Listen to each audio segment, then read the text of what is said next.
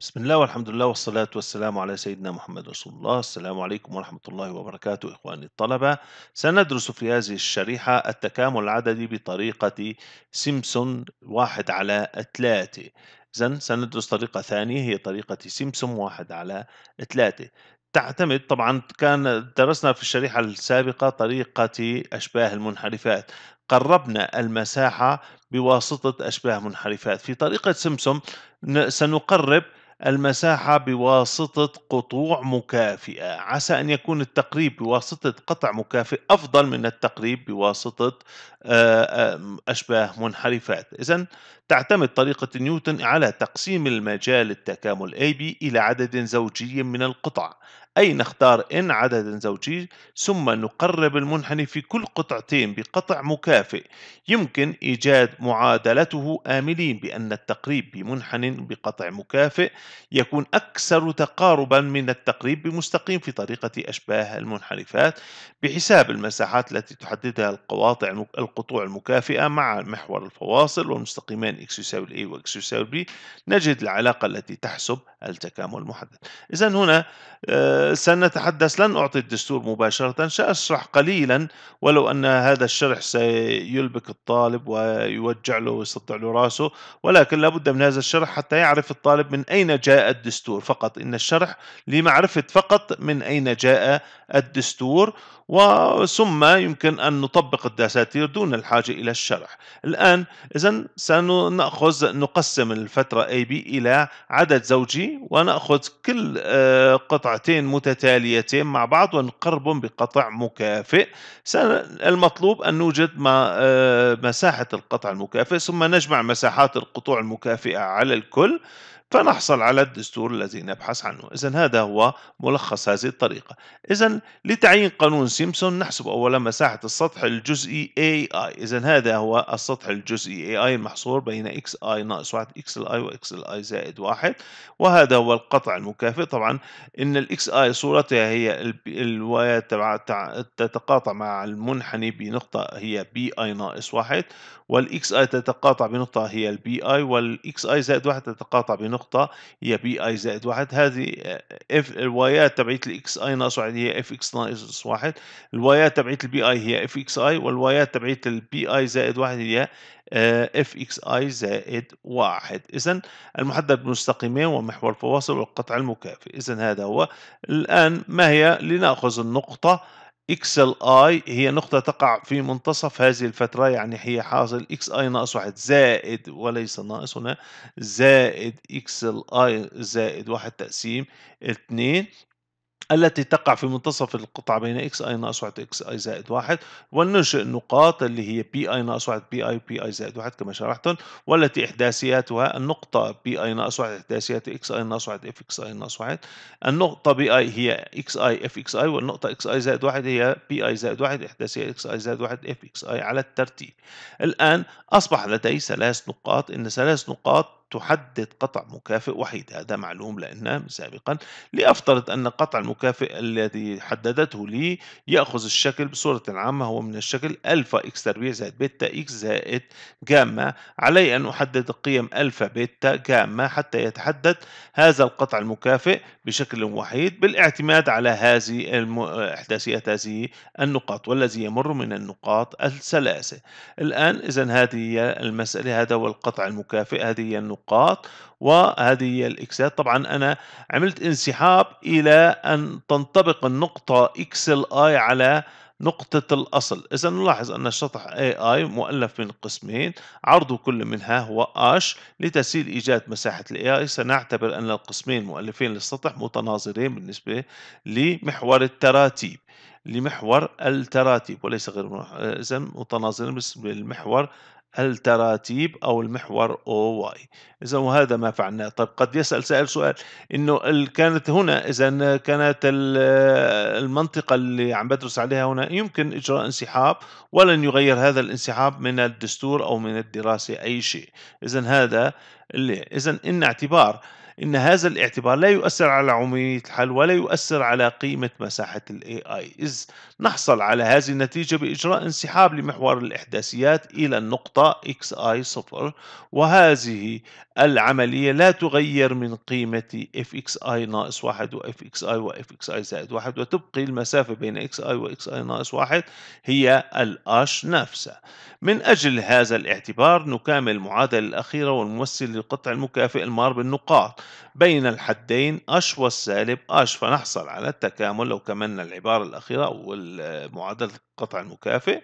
بين هاتين لحصلنا على قيمة التكامل لو عوضنا بقيمة التكامل لحصلنا على هذه النقطة أو هذه المعادلة. الآن يمكن تعيين الثوابت ألفا بيتا جاما باعتبار أن المنحني يمر من هذه النقاط التي أصبحت إحداثياتها بعد الانسحاب مو سحبناها فهي آه هذه سالب H اذا هذه هي سالب H. سالب H f x i ناقص واحد هي صفر f x i هي H f x i زائد واحد على الترتيب.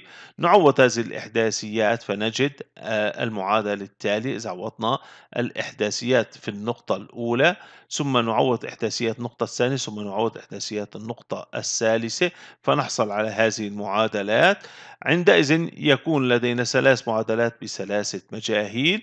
بحل هذه المعادلات نحصل على المجاهيل. إذا بحلها نحصل على الألفا ماذا تساوي البتا والجاما.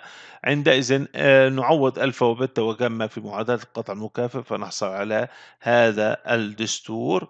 هذا من أجل إذا حسبنا مساحة القطع مساحة المنطقة اللي هي AI اللي قربناها بشبه منحرف. الآن إذا كررنا هذه العملية من البداية إلى النهاية إذا نحن كان عندي هذه هي منطقتي هذه هي ال A وهذه هي ال B. وأخذت أنا كانت هذه x ال I ناقص واحد هذه x ال I زائد واحد وهذه x ال I.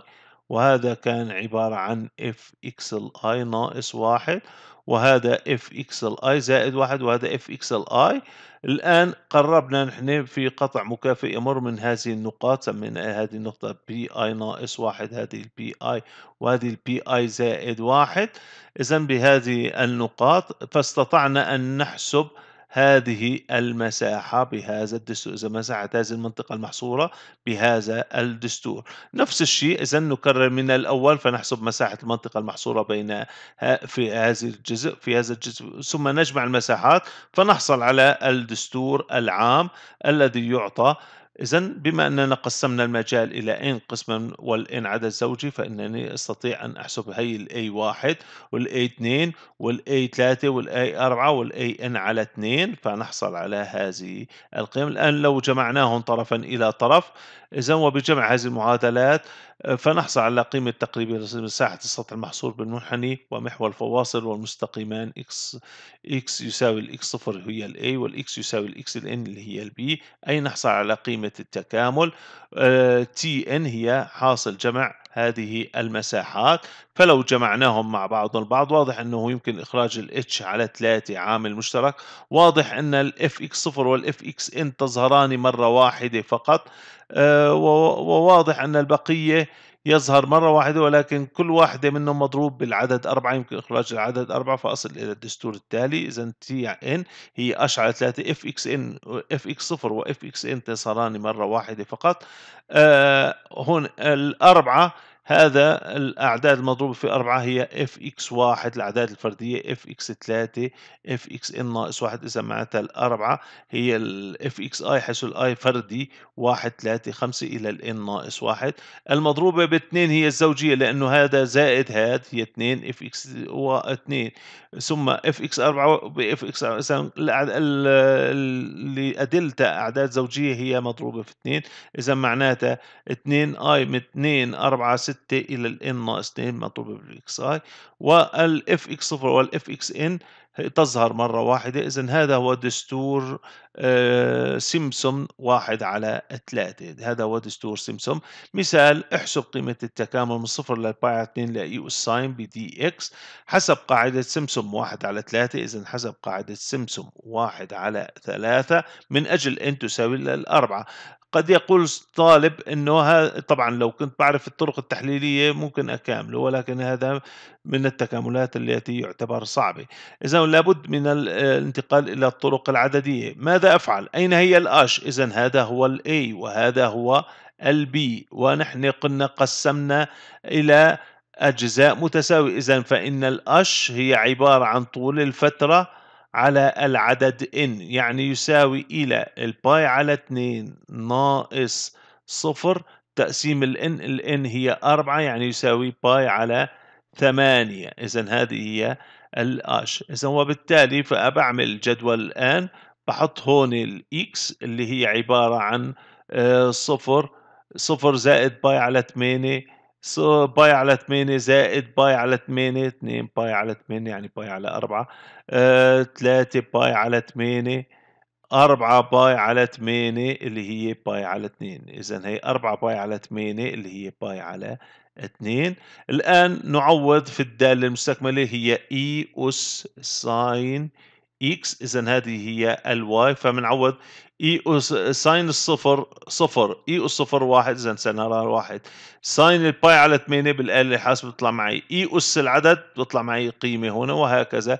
مثلا ال pi على 2 sine ال pi على 2 هي واحد. معناتها هذا هو ال e يعني هذا هو 2.71 إلى آخره. ونحسب بقية القيم.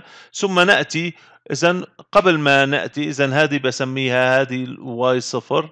y واحد y 2 y 3 y 4 فما هو الدستور تبع شبه المنحرف لحساب المساحة فإن المساحة A ما هي إلا عبارة عن أش على 3 الأش معروفة طلعت معي هي pi على 8 مضروبة ب ال y صفر وال y n يظهران مرة واحدة إذا بنحطهم.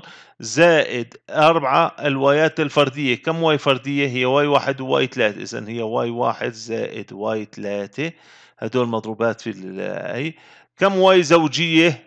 هي y وحدة إذا 2 y 2 الآن نعوض كل القيم معلومة لإلي فأحصل على قيمة المساحة بكل بساطة. إذا هذا هو. إذا لدينا ال h هي B ناقص A على N يعني pi على 2 ناقص 0 على N هي pi على 8 الآن بنسوي الجدول.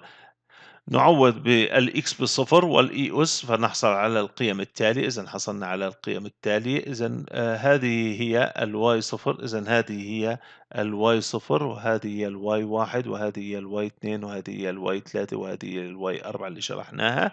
الآن بعدها وحسب قاعدة سمبسون ومن أجل n يساوي ل 8 فنحصل على h على ثلاثة. ال y صفر وال y n قلنا بيظهروا مرة واحدة فقط. زائد أربعة y واحد و y ثلاثة زائد اثنين y اثنين ونحسب القيمة ونحصل على المطلوب. والسلام عليكم ورحمة الله وبركاته.